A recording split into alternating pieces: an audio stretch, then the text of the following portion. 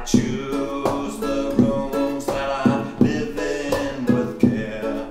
The windows are small and the walls are almost bare. There's only one bed and there's only one prayer. I listen all night for your step on the stairs, but I know.